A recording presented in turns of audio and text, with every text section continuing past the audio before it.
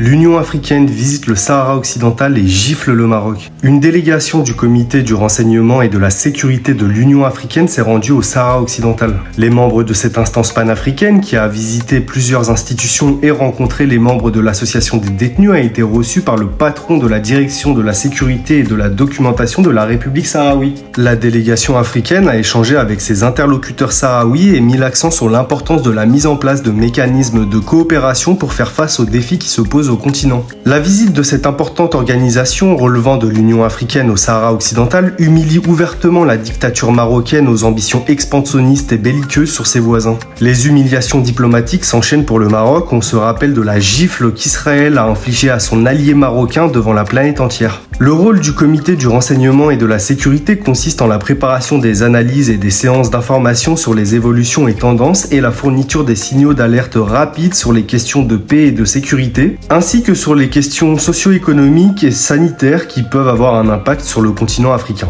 Il surveille et analyse également les événements internationaux qui peuvent avoir un impact sur le continent, y compris le terrorisme. Le CRS prépare des séances d'information à l'intention du président de la Commission de l'Union africaine et élabore également avec le Comité des services de renseignement et de sécurité en Afrique et travaille avec le département paix et sécurité, le département des affaires politiques et le département des affaires sociales de la Commission de l'Union africaine, ainsi qu'avec d'autres départements de la Commission de l'Union africaine selon les besoins. En outre, le CRS assure la coordination avec la structure des Nations Unies et d'autres partenaires.